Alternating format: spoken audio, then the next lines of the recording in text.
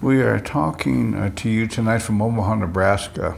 A number of the relatives uh, from Oklahoma, a number of the relatives from Nebraska came together today to hear the verdict in the Scotty Payne case. He was, as many of you know, charged with felonious assault in the tasering death of Zachary Bear Heels, a Kiowa relative, on June uh, 5th, 2017. We're here tonight to reflect a little bit on uh, some of the things we heard today and to lament the fact that Scotty Payne was found not guilty. And evidently, uh, it is uh, not a crime in Omaha, Nebraska, or it's not out of the ordinary for the Omaha Police Department to take a mentally ill man and taser him 12 times and hit him 13 times. They found that within their authority and they found him not guilty today.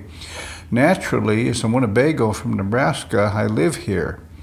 And I'm very much taken aback by this. I'm embarrassed as a, as a Nebraskan. I am beside myself. And I'm just going to send a word out to Indian country that we all have to pay attention to our Kiowa relatives. And we're going to have to speak out loud and long because I have an idea this is not happening only in Omaha to our Kiowa relatives, it's happening around the country. They're doing this, they're victimizing, they're dehumanizing our men, our women, they're killing us. And I'm not young anymore, but I'm very angry. I've had enough of it. And I'm going to do what I can in Omaha, Nebraska to change things from here on out. There's a lot of work that's left to be done. Two individuals were charged in the death of Zachary Bear Heels and uh, uh, uh, McClarty is going to be coming to trial very soon, and we're going to prepare for that.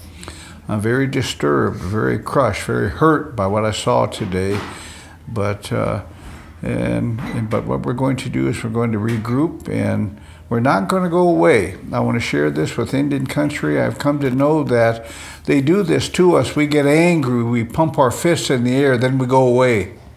And so they continue to do it. Starting right now, today in Omaha, Nebraska, we're not going away. This has to stop clear across the country, and it's going to start in Omaha, Nebraska. Very simply, with all due respect, Omaha must pay. I live here, I can say that. Omaha's going to have to pay for this and for what they did to the, our Kiowa relative. And that's what brings us here today. And I'm just uh, sending out uh, notice, sending out a plea to all of Indian country that we're going to have to mobilize and come together on this. I'm also going to chide all of you looking in. I'm going to chide uh, the Kiowa relatives, going to chide the Lakota relatives, going to chide the Winnebago relatives. We were in court today uh, trying to give voice to Zachary Bear Heels, and none of you were there we talk about these things. We pump our fist in the air. We talk about sovereignty. We talk about all of these issues, all these things we want to change. We have a chance to stick up for ourselves. A young man who they killed, and we weren't there. Very disturbed by that. And I'm, as, as quickly as we call out the city of Omaha, uh, call out Douglas County, call out the state of Nebraska, we need to call out ourselves. We were not there the Kiowa relatives, the Kiowa women were there today. We're the men. We're the Lakota men. And I'm, I'm angry by that. And it's time for us to quit talking a good game and act. Take care of our relatives. Take care of those they're doing this to, even tonight somewhere in Indian country. So I'm beside myself. I'm angry. I'm going to stay angry. Uh, I marched a hundred times. I'm tired of it. Sometimes we get tired, tired of marching, tired of trying to fight for justice. All of us need to come together, stop and, and, and do something. And I'm asking us to do that tonight. Renita, what was going through your mind today as you awaited the verdict? During the trial, sitting there watching the videos and listening, listening to them testify about Zachary's pain. As a mother, I know my child. He was in pain, pulling his hair, hearing him say, ouch. That hurts me because that's where it all started that was very painful me for me to hear my son say them words And also, as a mother, you know your child. You know your child's crying, the hurt and the pain that he was going through. I know this because I raised him mm-hmm. when he was a baby. As a mother, you'll never forget how you know your children, your mm-hmm. child. Mm-hmm. And it was very hard for me to sit in that courtroom to hear all this and hear him hollering for help. And also, I can't breathe. As mother, sitting there, that hurt me the most to see that in that courtroom. And mm. then today, the verdict not guilty. Scotty Payne, what if you had a mental ill child?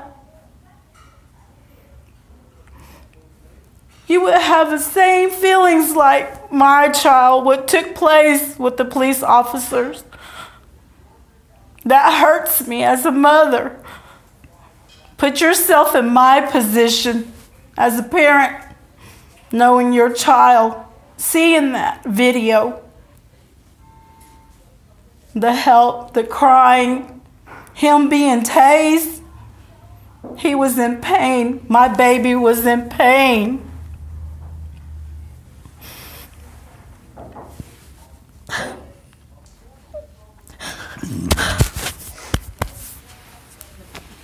I want to share something that I heard today, and I've heard it throughout this trial, and it troubles me quite a lot. As a native man, troubles me as uh, is also as a father, and that's what she said about knowing her child better than anybody else knows her child, and nobody can dispute that.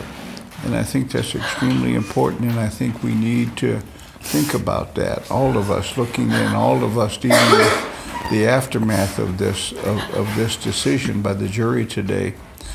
I want to point out to you that uh, something that we've, we've told ourselves that on uh, June the 5th, 2017, on 60th and Center Street here in Omaha, there was nobody who needed help as much in the city of Omaha, as much in Douglas County, as much in the state of Nebraska as Zachary Bear Heels did he needed help. And this is what we did to him. And we did this to him under the color of law. And I'm going to share with you that, you know, when, when, when this is over and done with, when the trial of Payne, the trial of McClarty, the questions we're going to ask of the Omaha Police Department, and, and when we're done with that, we're going to find out the true story of what really happened there. And I don't think that it's, it's going to I, don't think it's going to serve uh, Omaha very well. I think that uh, this was deliberate on the part of Scotty Payne. I heard in the courtroom, and what I gleaned from it is he did this, uh, some of this tasering, he did it to teach him a lesson. Scotty Payne, the city of Omaha, determined that they would be judge, jury, and executioner. And I'll be less than charitable, but I'm happy to say that, and I stand by that. And I think when it's all over and done with, the tasering 12 times, handcuffed and hitting him with an open fist 12 times, I think we're going to find out that this young man was brutalized. And he was brutalized under the color of law. And I want to tell the city of Omaha and I want to tell all Americans get ready. The standard's set now. They can taser you up to 12 times. And that's what law enforcement is that's the feeling they're going to have about this thing right now. This was a dark day, not just for Native people, not just for Native people in Omaha, Nebraska, but all people in Omaha, all people in Nebraska, people across this country. I watched, uh, I can find no other way to describe it. I watched these people from this taser industry. I watched these taser whores get up on the stand, paid tens of thousands of dollars to be able to say that the use by the police department of deadly force of this taser that it was uh, it, it, it, it was justified. I watched that, and I'm going to remember that quite a lot. I'm going to remember that for a long time, and all of us as Americans and Nebraskans better look at that because we set a standard. Somebody's going to get tasered tonight in this country. And I think somebody's going to get tasered tomorrow. Omaha sent a message to the whole country go ahead and taser them, kill them if you want to. You know, we'll justify it in court. We'll bring out our taser whores, and they know who they are. That's how I feel about it, and that's what all native, that's how all Native people should feel about this. That's exactly what happened. The man most in need of service, most in need of help, this is what we did to him. I will say it again. I've said it to the family. I've said it over and over because I can find no other way to characterize it. We talked from a Christian point of view, from a traditional point of view. Uh, the Creator gave us Jesus Christ. The Creator gave us Crazy Horse. The Creator gave us Zachary Bear Heels. We didn't take care of them. I can put it no other way to all the relatives looking in. We did not take care of him. He cried out that night. Nobody heard him, but we heard him today, his mother, his relatives. I heard him, and Omaha's going to hear that for a long time to come. I'm going to make sure of that. I'm going to ask who's going to join me? Who's going to talk about what we're going to need to do, and who's going to do it? Whether they're from Nebraska around Indian country, who's going to help? We talk a good game, and I'm tired of this. You know, and I know that tomorrow people are going to say, Yeah, right on. Do it right on. I'm with you. I'm with you. We hear that. I didn't see anybody with the women relatives today, and that bothers me. And I think all of Indian men looking in, we're going to have to toughen up. You know, and quit talking a good game. They're doing this to our women, they're doing this to our young people. And we've got to we've got to come to that realization. It's never been worse than this when they can justify taking and under the color of law executing one of our people on the streets of Omaha. 58 seconds, 50,000 volts. You know, burns on his body. Nobody talked about that. They killed him pure and simple. They did it under the color of law, but we're not done. This family's not done. I'm not done. I vowed to the mother today that I'm stubborn. You know, this bothers me. We'll stay with this until the end because I don't go away.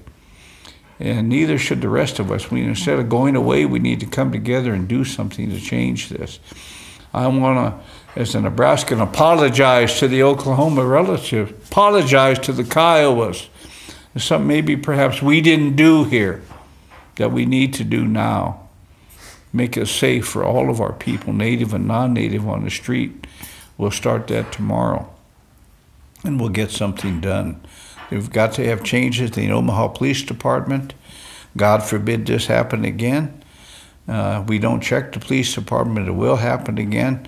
And I'm going to talk with the mayor, the chief of staff, the chief of police this week and I'm going to ask for changes. I heard things during this trial, mm-hmm. how they looked at Zachary Bear Heels, how all the police department dehumanized him. Well, we're going to change that starting tomorrow, and we're not going to quit until we're assured that they're going to treat us well. And when we need help, they're going to give us help. And so that's what we'll see if we can do. But I apologize to the relatives. We'll do the best we can now to make things right. I simply want to say it was a it was a dark day for Omaha. They'll remember this day, I think, for a long time in Indian country and in the city of Omaha. We're going to look back years from now and see what we did here today, and we're going to be ashamed of it. I really believe that. I said something today, and I want to say it again. You know, they, we're going to, you know, the ghost of Zachary Bear Heels going to wander these streets of Omaha forever. He will be asking us for help. He's going to cry out and see if somebody is going to give him that help. That's how I see things. I'm not young, that's how I see things. And I also want to share with everybody looking in and with the family that this is way bigger than we are. I do not understand what this is about. If, uh, I would not be smart enough if the Creator told me what it was about. I'm not smart enough to understand. But I think Zachary Bear Heels was sent here as a teacher if we would learn He was sent here to make things better in our families, our extended families, in our communities, our nations. If we would learn, we have to start learning now. We have to come together and protect ourselves. The Creator, and not the city of Omaha, not the state of Nebraska, not the United States of America, the Creator, give us this land. Nobody else did and they're trying to take all this land from us. We know that. And now they feel they can take our life. This is the start, I think, of our fight for life. More than a fight for justice, it's a fight for life. They justified taking a life today, and we need to see it for what it is. We're worried about those environmental issues, and I can understand that. And as important as that is our own lives, and that's what's at stake now. Time to get tough. Time to quit talking tough and get tough as Native people. We'll do that. I will. The relatives that I've seen from Oklahoma, they will too.